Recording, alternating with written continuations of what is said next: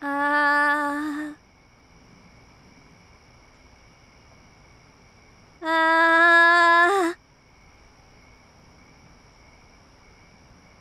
あ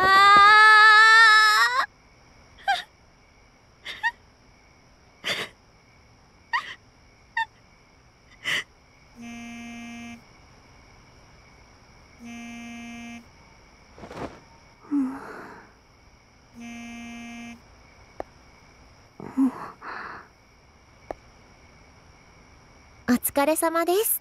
経費生産、明日までです。提出はありませんか？お疲れ様です。経費生産あります。明日事務所に寄ります。ギリギリでごめんなさい。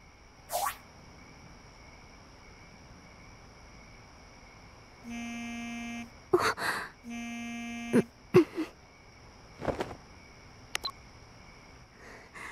い。お疲れ様です。七草です。お疲れ様です。あ、今、外ですか？大丈夫？はい。全然大丈夫です。何でしょう？ご多用のところすみません。明日、レッスンのご予定がありますよね。その時間、私も外に出る用事があるので、よければそこで経費生産を受け取る形とか、いかがです？あそんなごめんなさいでも用事のついでだったらええ助かりますわかりました。では明日、レッスン場で。それから、どうする？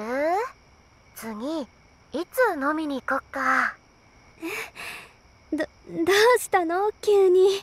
声。何かあったでしょ？あバレちゃった？バレバレでーす。大丈夫？何か辛いことがあった？ううん辛いこと辛いことじゃないのただうん。ごめんね話聞いてくれる？聞かせて。夜どうかな？忙しい？待ってね。うん。大丈夫。本当に大丈夫？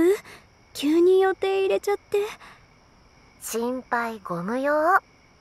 ちゃんと仕事は片付けるから。うんありがとう時間気にしない感じで話すなら、宅飲みでもいいけど？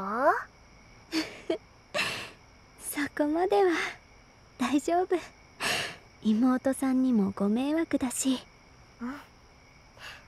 無理はしないでね。うんうんそれじゃ。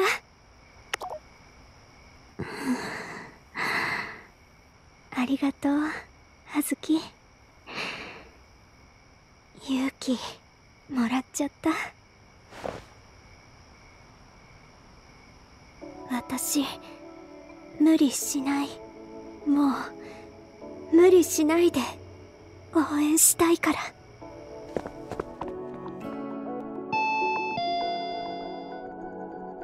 んなさい。遅くに突然。うんうん。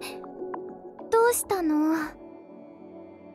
あのどうしても会ってお話ししたくて。あのねアプリコットのオーディション。私も受けたい。受けてもいい？